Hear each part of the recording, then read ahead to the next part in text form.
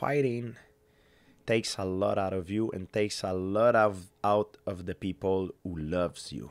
Yeah. Because you play basketball, you play baseball, you don't play fighting, and the out the, the outcome of a failure it's could be very very bad. You know what I mean? It's not like uh, you you lose a, a, game of basketball or right, something like that. Right. You lose a fight, it can have huge re- repercussion on your your health, your well-being, but also your income and your family and everything.